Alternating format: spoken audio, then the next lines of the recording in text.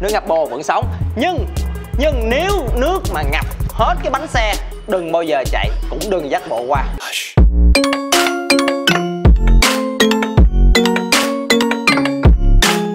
Hello, đáng lý là video này sẽ là một cái video mình vẫn tiếp tục chạy xe ôm và vẫn tiếp tục à, quay video chạy xe ôm cho các bạn xem. Nhưng mà thôi mình sẽ đăng video này mình hướng dẫn các bạn cách xử lý tình huống khi mà đi qua những cái đường như thế này. Ví dụ như cái video các bạn thấy thì đây là trường sửa soạn vào lúc khoảng 5 giờ mình chạy tới giờ năm giờ mấy mình về mình ăn xong rồi mình chạy về thì thấy nước ngập nên là bật cam mình cho các bạn xem luôn.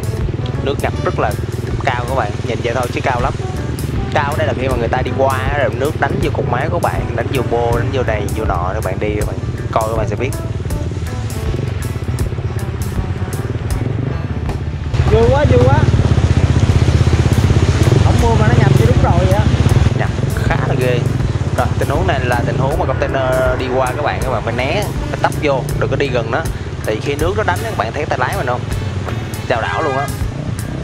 Nước nó đánh cái nó nó lắc lắc á. Thành ra là mình sẽ dễ té vào thì lúc này là hết rồi. Thì uh, trên đường mình sắp về nhà thì mình gặp uh, thằng bé này thấy nó dắt bộ uh, mình vẫn còn chưa có mệt lắm thành ra là mình hỏi nó muốn đẩy mình đẩy nó đi luôn. Còn đẩy giùm không? Đó, giờ em tìm tìm kia thôi chứ. Đẩy xe em bị gì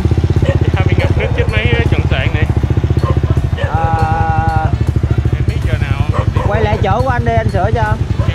Quay lại chỗ anh anh sửa cho. Nhà anh ngay đây nè.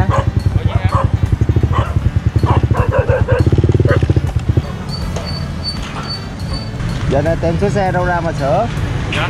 giờ này tìm sửa xe đâu ra mà sửa? Giờ đi anh sửa cho. Rồi, thì uh, đây là cái một đoạn mình uh, hỗ trợ mình giúp thằng em nó sửa những chiếc xe khi mà xe nó đã đã bị vô nước rồi cái này không còn phòng chống nữa. Cái gì?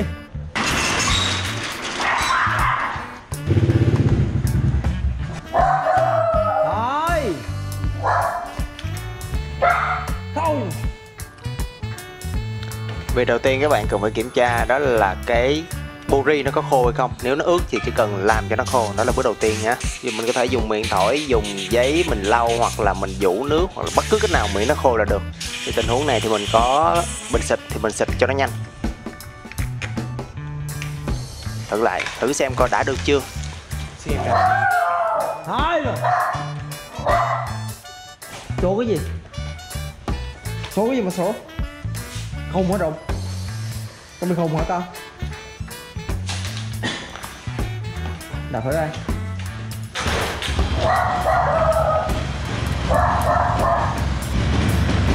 đây. xe còn xăng không? Dạ còn em mới đổ Thì tiếp theo là mình sẽ xử lý xăng. Nếu xe vào bình xăng con thì đơn giản mình chỉ cần xả xăng thừa trong bình xăng con là được. Nó sẽ chảy hết tất cả những gì trong cái bình xăng con Bao gồm cả nước và xăng. Có nước trong này nè đường nào cũng ngập hết em? Thủy chiều lên mà. Có đường nào mà không ngập? Để cho chắc cú thì mình uh, cắm bình hơi mình xịt lần nữa. Tại vì hơi nó hết á xịt kỹ lên một lần nữa. Để chắc chắn là cái buri nó sẽ không còn một giọt nước nào trong đó. Tránh bị uh, điện nó sẽ uh, không có tập trung cho buri mà nó đánh tà leo me hết. Thành ra là bạn không đủ điện để bạn nổ máy. Uh, lên giá cao á sẽ bị hấp bù phục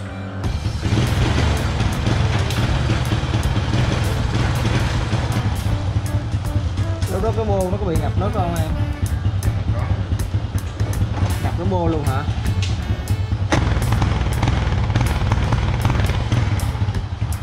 Chết mẹ mà ra con.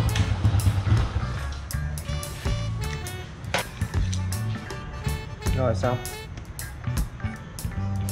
nước nhiễm nước rồi. Ừ, phải nhớ đi. Chiếc ngập rồi đừng có chạy vô mấy con xe này chạy vô nó hành chết không có lắc rồi đâu nằm bên trong sao mình lắc.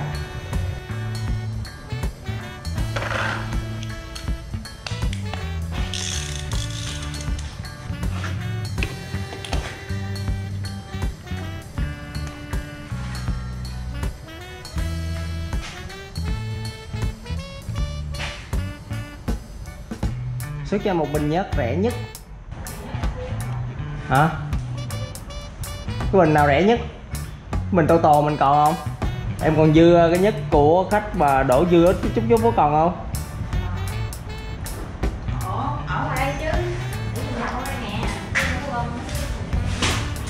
Bữa giờ anh bơm được được ba chai hay sao á?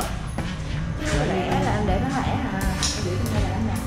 lấy bình mới ừ vậy lấy bình mới đi, tại của anh là bán tổng hợp cấp cao quá giá của nó là một trăm ờ, một trăm hai mấy ngàn á ừ, vậy lấy cái anh bình vô kia đi. Cái này lâu lắm không thấy nhớt nè. Em đụng cái nhớt em biết liền à. Đặt. Không phải đặt mà nó đen. Và xem nó bị nước á nó vô từ bô nè. Có tình huống á mà em bị ờ, mà chắc chắn nước qua ngập á thì em giúp anh bịch cái bô lại. Ừ bịch cái này lại. Kiếm đồ bịch cái này lại thì em dắt bộ qua nước xong em mở ra em đi tiếp nếu mà cảm thấy chạy qua đường là chạy qua luôn đừng để tắt máy. Tắt máy là thua tắt máy là em xong rồi Ừ, nhớ em có nước nè. Đi đi học hả? Dạ chạy của quận 12 đủ về chạy quân 12 học hả? Không em uh, có tổ chức chương trình ở bên đó. Em học trường Nguyễn Thành à thấy Nguyễn Tất Thành mà kế bên đây mà. Chương trình ở giờ chạy cái trên gì vậy? Ờ, chương trình của trường nó em biết không thì em cứ nói đi chương trình gì mới được? À, là người ta không biết học cho mày. Gala vậy bỏ đi tao không biết rồi đó. Đã qua 42 hả? Chết mày rồi con. Đi sớm nó thành đi trễ rồi.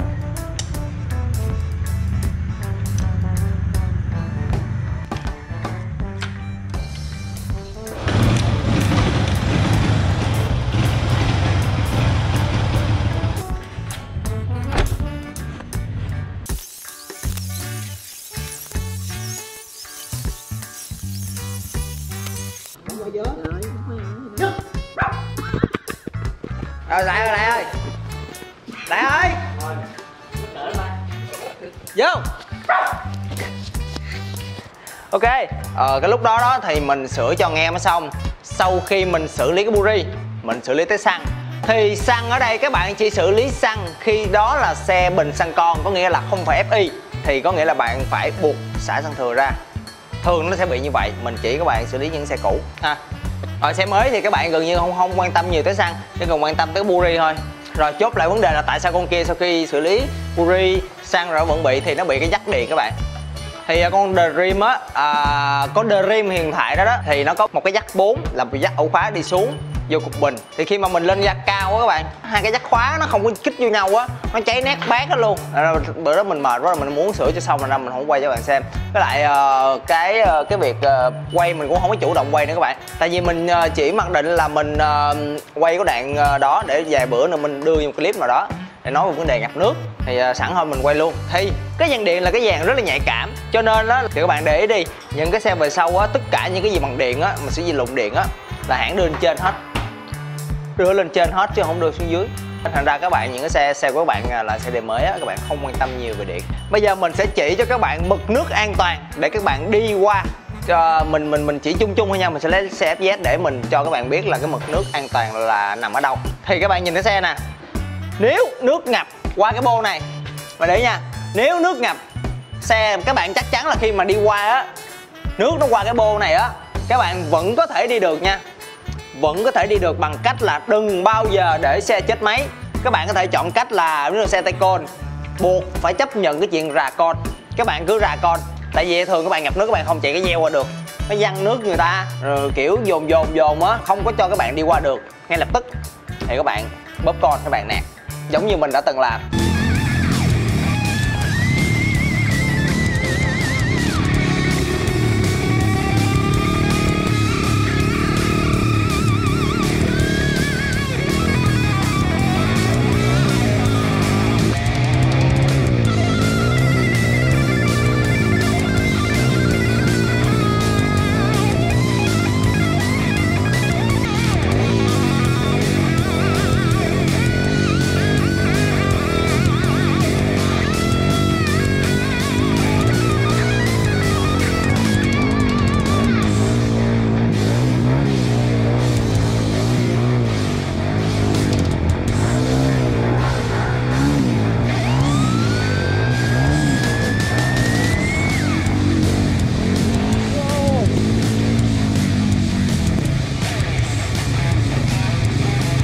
Khi các bạn bóp con nạc á nước nó sẽ không có đủ thời gian nó chui vô. Thì nó, nó vô cái làm các bạn đẩy nó ra hết rồi. Cố gắng đừng có để cho nó các bạn đừng có hạ ga. Hạ ga là nước nó vô liền. Nó vô một cái là các bạn chết máy liền. Nó gọi là bị thủy kích đúng không? Thì khi cái xe các bạn bị thủy kích rồi gần như là bỏ tay. Đó là trường hợp các bạn nước ngập bô. Thì các bạn đi qua được bằng cách là đừng bao giờ hạ tay ga của bạn. Các bạn có thể xe tay ga các bạn có thể ra thắng và lên ga ra thắng, bóp thắng, từ từ từ từ. Rồi lên ga. Đừng có hạ cái ga xuống. Khi các bạn hạ ga xuống là coi như chết là xong. Nước ngập bô vẫn sống. Nhưng nhưng nếu nước mà ngập hết cái bánh xe, đừng bao giờ chạy, cũng đừng dắt bộ qua. Lời khuyên của mình là như vậy. Khi nước ngập hết cái bánh xe như vậy, là mức mực nước trên đây nè, trên đây nè. Các bạn không nên, tại biết, các bạn biết sao không? Có thể là nước sẽ không vào bô. Các bạn có thể bịt cái bô lại. Nhưng nước sẽ vào lọc gió. Nước nó sẽ vào đây vào đây khi mà nước ngập lên qua bánh xe có nghĩa là nó đã đụng tới cái đụng bình rồi. Nó đã đụng tới cái bình ắc quy rồi. Các bạn thấy không? Rất là nguy hiểm à, sẵn khoe cái dàn điện luôn. Lên cao chút rồi xe của mình á đi nhiều điện như vậy đi rất là nhiều thứ như vậy thì xe mình tới hai bốn cầu chì. Thêm cầu chì tổng là năm cái cầu chì. Khi mình có xử lý cái gì đó thì mình chỉ cần xử lý cầu chì thôi mình không cần xử lý cái gì nữa hết á. Lần đầu tiên mình thấy xe của một thằng thợ điện mà nó gọn như vậy luôn á. Ai làm gì còn vậy ta? Thằng chó nè các bạn thằng chó để làm điện nè rồi à, mình làm video là mình khuyên các bạn mình chia sẻ cái kinh nghiệm của mình chứ mình không có về đề ai hết. Thì các bạn phải chủ động hiểu về xe của mình cái đã. Thứ nhất các bạn phải quan tâm đến là cái bình của bạn nằm đâu. Ví dụ như xe winner của các bạn á thật ra nó cao thiệt nhưng mình nói nếu nói về vấn đề lội nước nó không thể bằng FZ được. Tại vì điện của con winner cái bình nó nằm bên hông các bạn nằm đây nè. À, con winner của các bạn bình nằm đây nè thì khi nước mà nó ngập lên tới cái bình rồi, có nghĩa là đó là cái giới hạn của xe winner để cái lọ nước. Các bạn không thể để cho nó ngập quá cái bình.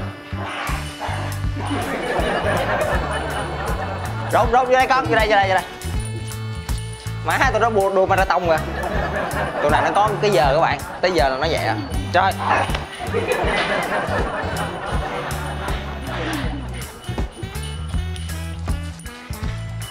Chặn chặn rồi bay vô cái đống nhớ chặn lại rồi nó chỉ rồi ok bây giờ tiếp tục. Thì uh, khi mà nước mà nó tới cái bình xe các bạn rồi đó các bạn không nên nha mình khuyên các bạn là không nên. Tại sao không nên? Các bạn biết rồi đó. Thử các bạn uh, quăng cái bình ắc quy các bạn xuống nước các bạn biết liền à.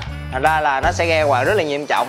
Cách an toàn nhất cách an toàn nhất khi mà nước đã chạm ngưỡng bình ắc quy tốt nhất là không chạy. Để nước rút chạy hoặc kiếm đường khác không ngập chạy.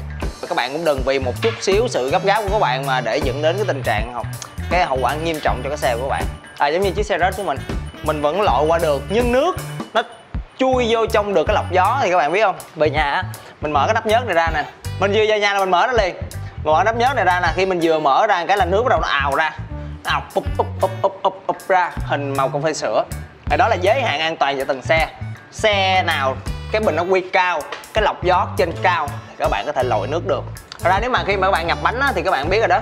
Buri của xe mình nằm đây nè thì có nghĩa là cái mực ngưỡng cái ngưỡng an toàn của xe mình á là nằm dưới dưới cái buri dưới cái cổ bô. Đây cổ bô. Đó, nước mà ngập lên tới đây mình cũng thua.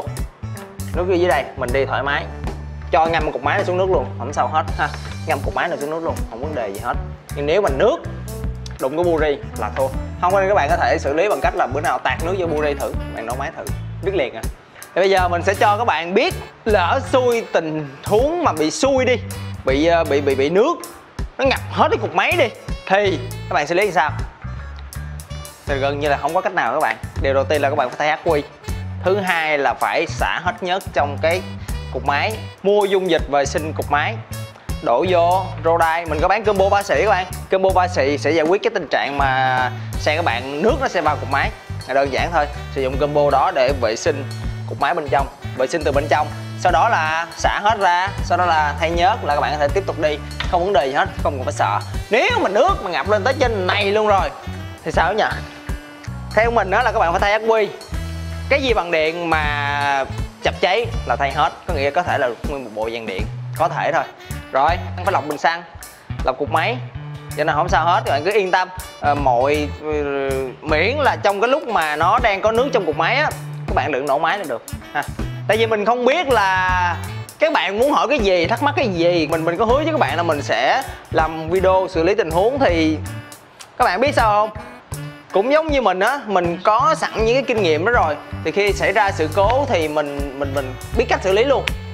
À cho nên là mình cũng không có gì phải làm khó được mình trong những cái tình huống đó. Thành ra là khi uh, các bạn gặp một cái tình huống gì đó bạn không biết những comment bên dưới đi. Riêng video này mình sẽ trả lời hết tất cả những cái thắc mắc của các bạn về vấn đề là ngập nước. Nếu mình không biết mình sẽ chủ động gọi hỏi những anh trên hãng gọi những người bạn của mình để hỏi thử rồi mình sẽ giải đáp thắc mắc cho các bạn ha. Không biết cái gì cứ comment bên dưới. Rồi thì uh, mình sửa xe ngày mai mình đi tour thì cái lúc mà các bạn đang coi video này á là lúc mà mình đang ở trên Di Linh có thể là Đà Lạt chưa biết nữa. Mai đi mới biết. Rồi đó là toàn bộ nội dung video ngày hôm nay thì uh, cứ comment ha mình sẽ giải đáp thắc mắc à, tạm biệt các bạn. Hẹn gặp các bạn ở một video sau. Bye bye.